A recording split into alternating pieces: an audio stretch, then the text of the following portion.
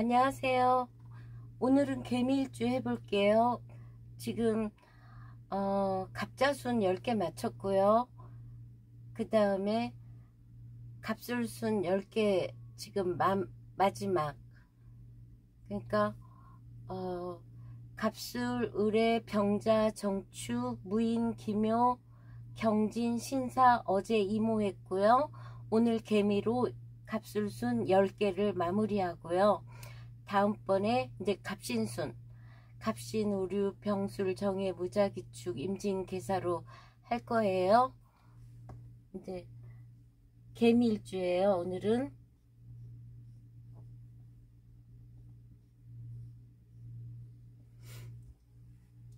개미처럼 일한다고 하더라고요. 개미일주는 지장간에는요. 정, 정을 기가 있어요. 날짜로는 9일, 3일, 18일 그 다음에 개 미는 어,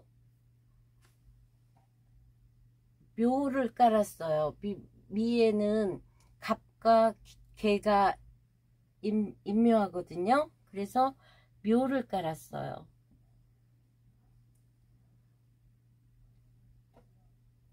그리고 이게 어,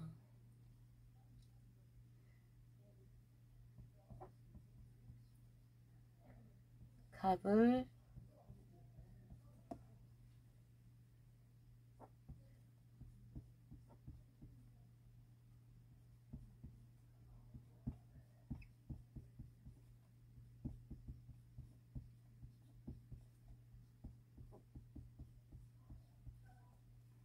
갑은 식상이죠. 식상이 묘로 들어갔네요. 식상고. 갑의 묘.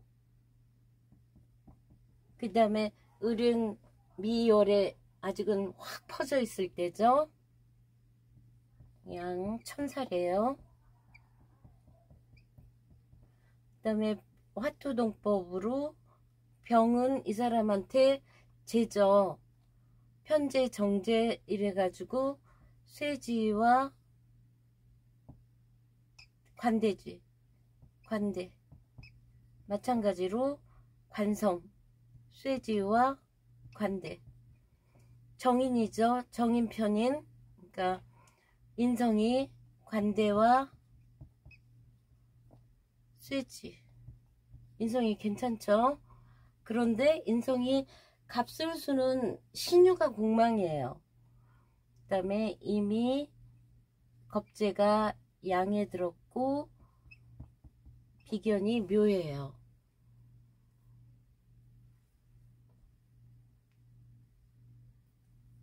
저, 이 사람은 이 편제가 편제가 편제가 지금 정이 관대에 들어있죠. 관대. 편제가 관대고요. 을이 아까 양이었죠? 천살 식신이 양의 천살로 들어와 있어요. 여자한테는 좀 불리하겠네요. 그 다음에 기, 이 사람의 관성이죠. 관성이 관성이 대에 들어있어요. 관성, 대.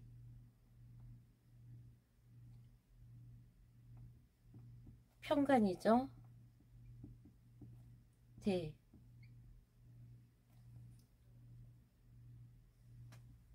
여기가 평관이에요.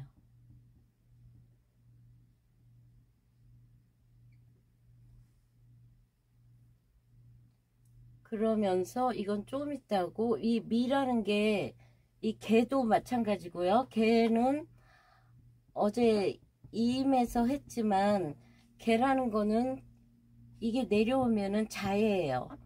임은 내려오면 해지만 개는 내려오면 자예요. 자라는 거는 일양 오음이에요.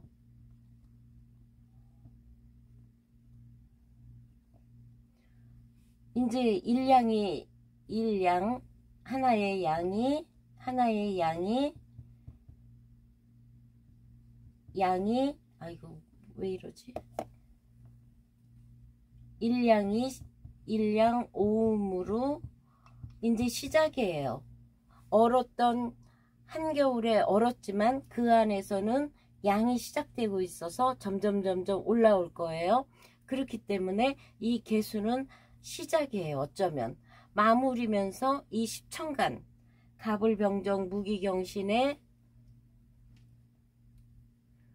가불경정 무기경신의 맨 마지막이면서 갑으로 가려고 하는 갑으로 가려고 하는 시작. 이때가 어쩌면 굉장히 대운에서도 이때는 정말 힘들어요 누구나. 특히 여자는 이 개우 대운을 힘들겠어요 외롭고. 그렇기 때문에 이 깜깜한 이 겨울에 어떻게 하면 살아남느냐 죽느냐 사느냐죠.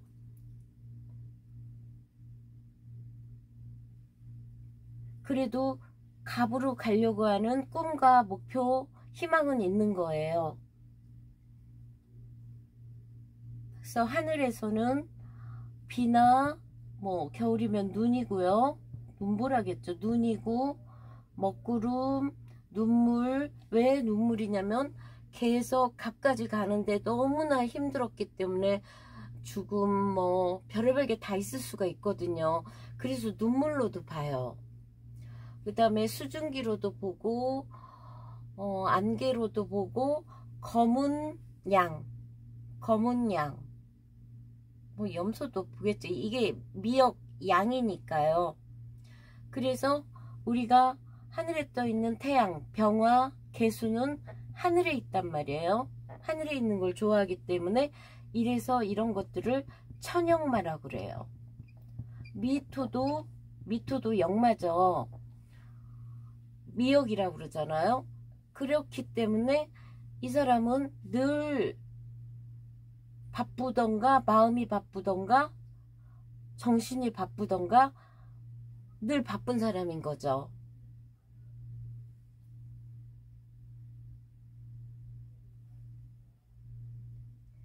그러면서 이 미는 바짝 마른 조토예요. 우리가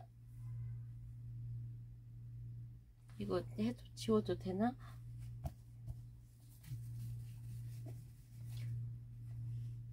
다 아시겠지만 진술 충미에서 이런 거는 밑에 수가 들어있잖아요.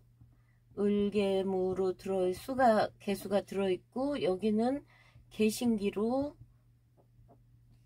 수가 들어있어요. 근데 얘 아이들은 정을기, 신정무 이래서 일점 수기가 없기 때문에 바짝 마른 조토라 뭘 생을 잘 못해요. 오히려 여름생이라든가 이럴 때 이런 술미가 왔다 가는 정신적으로 우울하거나 힘들 수 있어요. 오히려 도움이 안 돼요. 그 다음에 이 개미도 이제 갑술수는 전부 신유공망이었어요. 신유공망이니까 인성이 공망이죠. 그렇지만 이게 엄마로 보거나 뭘로 봤을 때 관대지 세지이기 때문에 약하진 않아요. 신은 자에서 장생하는데 한여름이니까 힘을 못 쓰죠 아무래도 그래도 세지니까 노련하고 나쁘지 않은 거죠 단지 공망이라는 거에 때문에 문서라든가 윗사람 도움 어머니 덕 이런 것들이 약할 수는 있겠죠 그래서 이 사람은 식재관을 다 들고 있어요 식재관이라 식재관 사주죠. 식재관. 이러니까 뭐 식신도 보면은 묘양. 여자 입장에서는 자식을 미토. 우리가 항상 진술충미는 고라고 그랬잖아요. 여기에 깔고 있다는 거는 돈복은 주어도 어, 그 인간관계에 아픔은 준다고요. 어렸을 때 부모가 이혼해서 뭐 한쪽 부모를 못 본다거나 아니면은 나중에 이혼해서 자식을 못 본다거나 이런 아픔이 들어있어요. 진술충미에는. 그래서 이런 진술충미를 까신 분들은 정말 선한 마음으로 많이 베풀고 누구보다도 바르게 살아야지 아픔을 조금이라도 안할수 있죠. 그리고 이 미에는 지금 1점 수기가 없어요. 그러다 보니까 자기 자신이 개수가 이 사막 같은 땅을 적셔주는 한여름에 적셔주는 그런 희생봉사를 하겠죠. 노력을 많이 하겠죠. 그래서 여자 입장에서는 평가 안방에 평간의 남자를 갖고 있다는 거는 뭔가 한쪽으로 치우쳤다는 거예요. 돈을 안 주거나 힘들게 하는 남편이거나 음, 떨어져 살아야 된다거나 약간은 뭔가가 좀 치우친 남편, 잘난 남편일 수는 있지만 사주 구성상 봐가지고요. 그래서 이 묘 속에 이런 것들을 다 깔고 있다는 거죠. 그런데 이렇게 개미를 보면 개미를 보면 이 중에 정화가 돈이잖아요. 관대의 돈, 편재의 돈. 애인을 살짝 숨겨둘 수 있다. 남자 입장에서. 여자 입장에서 기토. 애인을 살짝 숨겨놓을 수 있다. 아니면은 일찍부터 이제 혼전 뭐 재간 독립, 식관 독립 이래가지고 결혼 전에 유산 낙태나 임신해서 뭐 아이가 있거나 이런 구조가 이런 거거든요. 그리고 이 미토는 평간이기 때문에 이 평간은 명예지향적이고 조직이 조직 조직이죠. 그러니까 재가 있으니까 돈과 관련된 조직 이런 데서 탁월하겠죠. 가뜩이나 지혜로울 지혜를 뜻하는 수잖아요. 임과 개는 지혜를 뜻하기 때문에 머리가 좋다는 소리잖아요. 그러니까 이렇게 돈과 관련된 뭐 요즘에 뭐 주식이던 무슨 이런데 이런 회사 다니는 것도 좋다고 봐요. 그래서 자기 자신은 어른스럽고 뭔가 수렴하고 모으려고 그러고 묵직한 느낌이지만 이 내면은 이 사람이 만약에 화, 목화가 많다 사주에 아 이러면 기진맥진이죠 그래서 이 개미로는 과연 이 사주 내에 금수가 어떻게 되어 있나 운에서도 그렇고 금수가 있어야지만 이 사람은 균형이 맞춰져 가지고 잘 살 수 있는 거죠. 목화가 있다는 거는 이거 했다가 벌렸다 안 되면 또 다른 거 했다 다른 거 했다가 그러다가 결국에는 건강도 나빠지고 아무것도 못한다는 소리가 나오거든요. 그리고 남자 같은 경우에는 이, 이게 또 남연살이라는 게 있어요. 이 남연살이라는 게 개미일주한테 있는데 숨겨둔 애인 남연살이 한 7개쯤 있는데 그 중에 개밀주도 숨겨둔 애인을 갖고 있다는 거예요. 그러면 남자가 여자 부인 모르게 애인을 갖는다? 그러면 그거는 이제 그 가정은 어떤 식으로든 깨지게 되어 있거든요. 망신당하고 결국에는 처음이 그런 그런 나쁜 짓을 안 하고 살아야겠다는 자기만의 룰 원칙을 세우지 않는 한 이렇게 여자가 이렇게 속에서 있다는 건 많은 여자들이 따른다는 소리잖아요. 잘생겼겠죠. 남자로서. 이렇게 되면은 일단 한번 딱 여자를 사귀었다. 그러면 이제 그 가정은 깨, 깨지는 쪽으로 가는 게 100%라고 저는 생각을 해요. 그럼 가정만 깨지나요? 아이들 고통받고 돈은 돈대로 망하고 절대, 절대 혼자 사는 사람들은 가난해요. 잘 살 수가 없어요.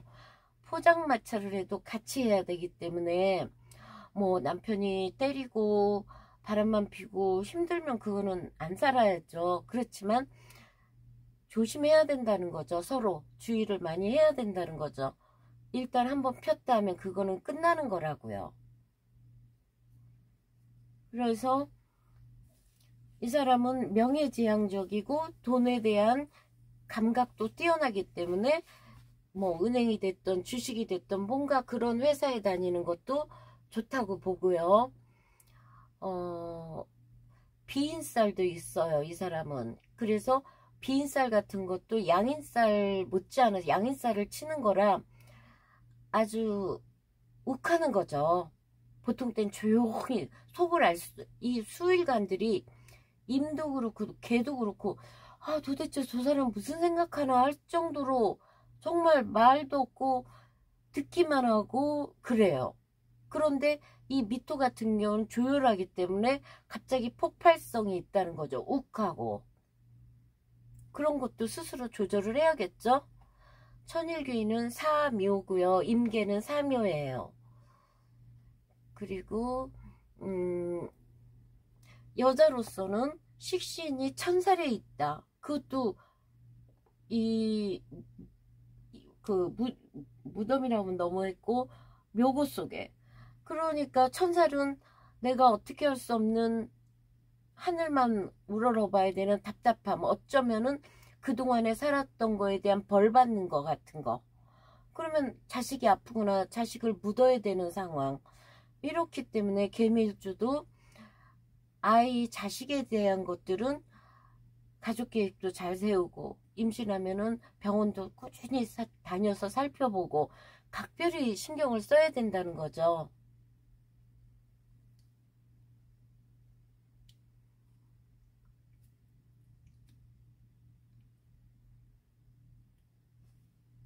관 관도 임묘를 했어요. 그렇기 때문에 이런 사람들은 직장도 여기에 만약에 또 문화 기나 있으면은 정말 압박감이 심한 거죠.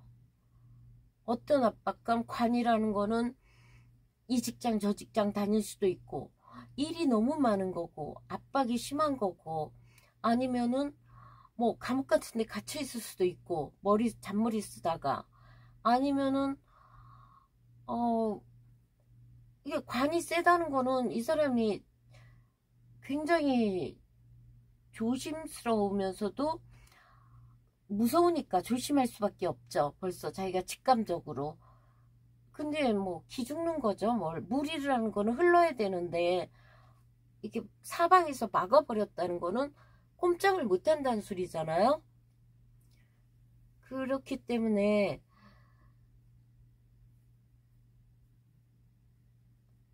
물론 자기가 굉장히 개미처럼 열심히 노력해서 어, 불굴의 의지로 사는 것도 있어요. 하지만 모든 사람이 그러면 얼마나 행복한 세상이겠어요? 그렇지만 이렇게 돈 욕심, 여자 욕심 이런 거를 해가지고 3, 40대 중간에 그렇게 했다가는 나중에 힘들어진다는 거죠. 바르게 살 경우에는 이런 게 개미처럼 열심히 일하고 속에 돈도 들어있고 이렇기 때문에.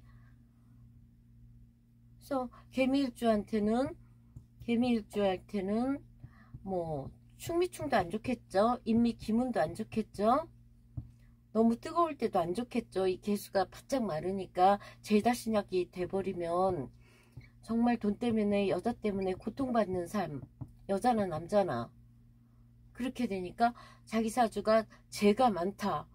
물론 여기저기 돈이라는 거는 포텐 터지는 것도 있긴 있지만 그만큼 돈 때문에 고통받는다는 소리거든요. 그래서 자기 사주가 너무나 이렇게 죄가 많다. 그러면은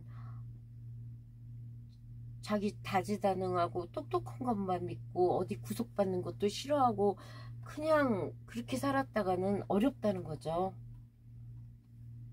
바짝 마른 여름에 막 이렇게 우울증 나버리면은 욱해가지고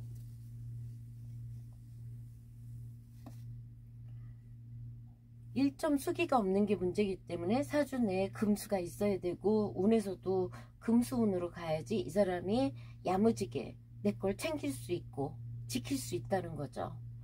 만약에 목하러 가버리면 다 헐헐헐 가난하게 되는 거고 여자 같은 경우에는 부성인묘란 말이에요. 남편을 인묘해 버렸잖아요. 그러다 보면은 자기가 가장 역할을 하는 거죠. 남편 무시하고 그러니까 좀 늦게 가는 게 좋다는 거죠. 늦게라는 거는 한 서른 넘어야겠 최소한 서른 한 두 살은 넘어야겠죠. 그러면 이 개미일주는 어,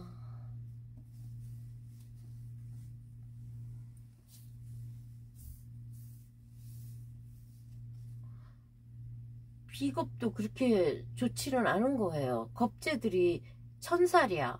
아, 그 친구 조심해야죠. 워낙에 개수들이 친구를 좋아해요. 그래서 이 개가, 개가 임을 만나잖아요? 그러면 여기에 흡수해버려요. 그래가지고 자기가 없어지는 거예요. 비굴해지고 없어지는 거예요. 워낙에 친구들을 좋아해요. 사교성이 있어가지고. 친구 아무 소용 없죠. 아유, 저는 그렇게 생각을 해요. 그 다음에 이 주역으로는요. 지금 제가 주역을 몇 개 챙겨놨는데 이게 주역회거든요. 여기다가 산택손을 부여했더라고요.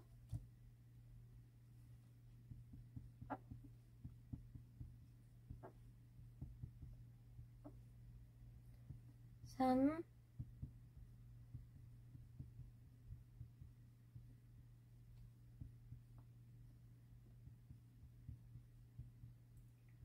산택손이라는 거는 이게 이제 손에 날 손, 손에 손에 날 손, 손실 이런 거예요. 그러면 주역은 아래서 붙었으니까 택 택이라는 거는 셋째 딸 어린 소녀죠. 그 다음에 산이라는 거는 막내 아들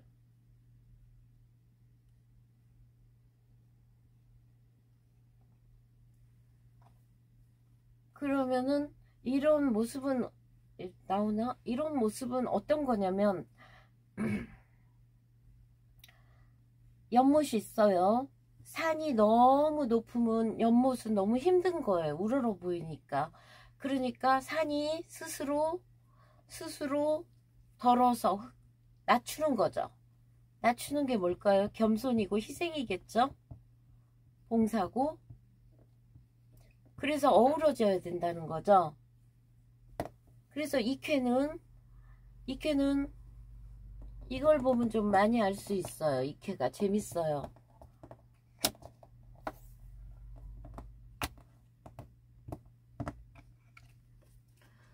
두 사람이 심각하게 얘기를 하죠. 그만큼 상황이 힘들다는 거고 이런 절벽 같은 것도 어려운 상황 그릇도 바닥에 있다는 거는 이제 모든 것들이 지금 좌절된 상태.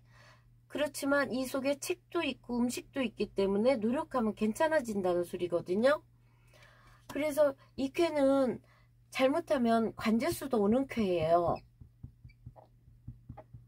그렇기 때문에 마치 지금 내가 힘들어도 내가 힘들어도 좀 손해 볼 듯 하면 그 작은 거에 너무 연연해 하지 말라는 거예요. 큰 걸 보고 미래를 나중을 봐서 지금은 조금 어, 노력하고 욕심부리지 말라는 거죠. 그리고 연애로서는 어린 소녀가 아래 있고 남자가 위에서 이렇게 중, 비슷한 나이기 비슷한 나이들끼리의 만남이기 때문에 조, 연애는 좋은 연애, 나쁘지 않은 연애예요. 하지만 모든 면에서는 내가 조금 지금은 힘들어도 멀리 내다보고 약간은 희생하고 봉사하면은 그게 오히려 나중에는 배로 돌아오고 좋아진다고 그런 쾌예요. 그래서 마지막 정리하다 보면은 이 개미일주는 여자 특히 여자 이런 소리가 있어요. 목소리가 탁하면 목소리가 이렇게 막 째지고 탁하면 그거는 이제 가난으로 가는 거다. 목소리가 좋으면은 괜찮다. 잘 산다. 이렇게 본다고 하더라고요. 저도 책에서 봤어요. 그리고 개밀주는 목화가 많았다가는 자기 사주에 개밀주인데 목화가 많다. 어린애 같고 벌리기만 하다가 나중에 결국에는 가난하다. 그렇기 때문에 금수로 가야 되는데 자기 사주가 금수가 없다. 금수는 뭐예요? 어른스럽고 빨리 철드는 거예요. 그렇기 때문에 자기가 굉장히 조심해야겠죠.